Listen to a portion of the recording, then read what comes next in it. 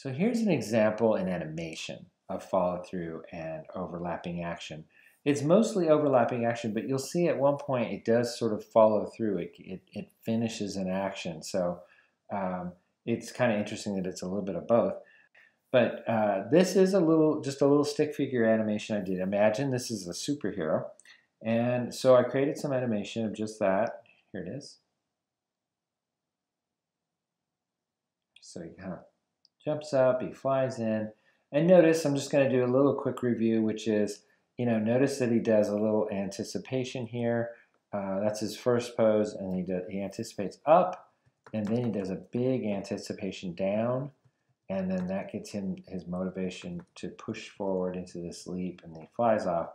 There's a big gap here, and then he comes back in, and he actually kind of his momentum. See, he slows in right here, and he starts to slow out as, and then there's stretch in here, and he's going to squash and anticipate, and then go into a pose. Okay, so very very simple animation. I did it very quickly, probably uh, only half hour, 45 minutes. But then I thought, okay, I'm going to put his cape on. And so the cape is going to, uh, it's going to react to uh, his, uh, what he's doing. And so I did it in another layer. So there you can see the cape. Um, and I want to step you through that really quick, which is there's our beginning pose. And then as he anticipates down, right, it's going to start to go up, right? It's going to actually go in and it actually goes up a little bit. And then as he starts to go up, it's going to drag. See, it's starting to drag. And it's always a, one or two frames behind his action, at least. So then it's just stretched out. Here, when it hits the arc, it kind of poofs out a little bit, and then it goes really fast here.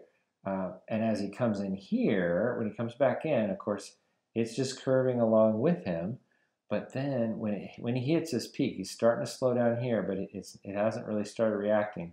As he slows down here, it's going to catch up and uh, start reacting to the slow uh, the slowness and then as he starts to go down it's continuing up okay so there's that overlap there uh, as it goes up and then as he goes down it gets now here's a real stretch right here right really long stretch and then it's going to regroup and uh, as it lands and here's here's that uh, that overlapping and follow through right here, this overlapping action. As he hits his pose, it's still moving.